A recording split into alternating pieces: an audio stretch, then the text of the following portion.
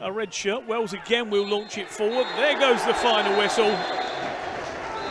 It's another three points for Torquay United in this incredible start to the season, who dominated the first half, never let Maidenhead have a look in, only had the one goal to show for it right at the end of that first half.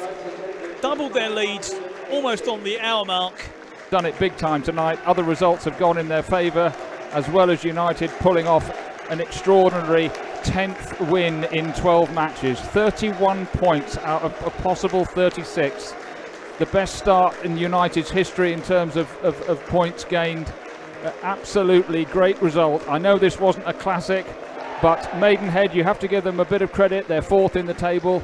Uh, they were there for a reason, but United have beaten them. They've beaten them on merit. They were certainly worth more than a 2 1 margin of victory.